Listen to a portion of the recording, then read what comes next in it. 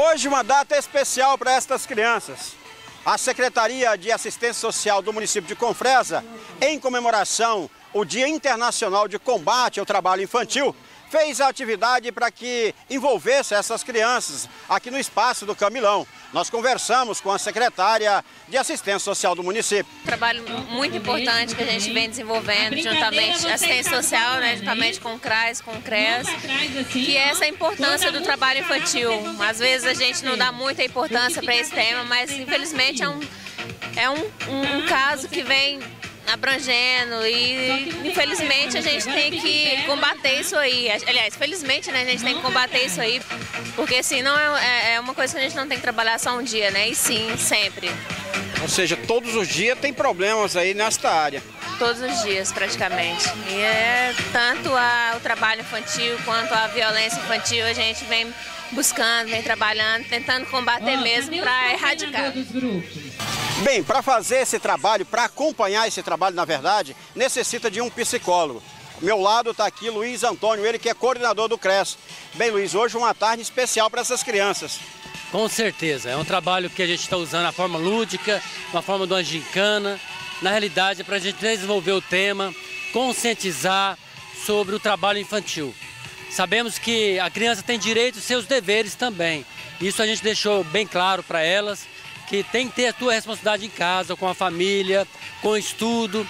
Porém, o trabalho infantil é muito prejudicial para a criança e adolescente. É? Como foi abordado, de 5 a 13 anos é, é ilegal o trabalho. A partir de 14 a 16, entra como aprendiz. E acima de 16 até 18, pode-se trabalhar, desde que não seja um trabalho insalubre. Né?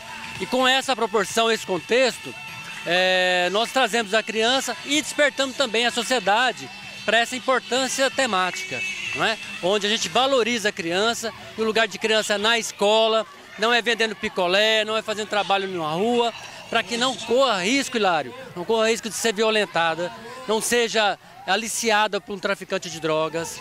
Então, é, com esse intuito, a gente está fazendo esse trabalho tanto para as crianças e adolescentes como para toda a sociedade.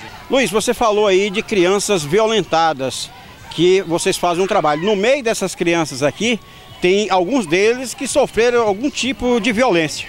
Exatamente, são crianças assistidas tanto para o, pelo CREAS como pelo CRAS. Pelo CREAS são demandas do Conselho Tutelar, crianças e adolescentes também que, talvez possa ter, eh, ou nesses casos são, são crianças que já receberam violência, né?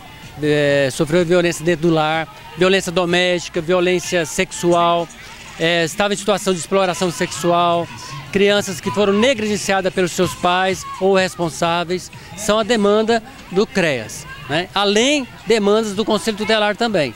Então na, a proposta nossa é protagonizar essa criança adolescente para que ela tenha outra opção, para que não fique né, é, vulnerável a qualquer situação, tanto dentro do lar como também nas ruas. Ou seja, e hoje uma data aqui, como eu disse, especial. Ah, foram várias brincadeiras, vocês dando toda a assistência desde uma hora da tarde. Isso, exatamente. Primeiro é conscientizar do tema, né, dos direitos e deveres desse, desse adolescente, dessa criança. E depois valorizar a autoestima, integrar né, diante da, da, da, sociedade, diante do serviço de vínculo, da demanda do CREAS, demanda do Conselho Telar, e fazer com que elas, através da autoestima, autovalorização, ela seja protagonista da própria história, não é? onde que ela tem a oportunidade de ter seus direitos e deveres é, é, respeitado, né? respeitado a cada dia. E a gente também faz um trabalho com a família. Né? Foi feito um trabalho durante essa semana anterior com a família dessa conscientização. Né? Respeitar essa criança e o lugar de criança, principalmente, é na escola. Né? Então nosso objetivo é esse trabalho, é contraturno no período escolar, pra, exatamente para que faça essa criança ter um, um presente e um futuro melhor.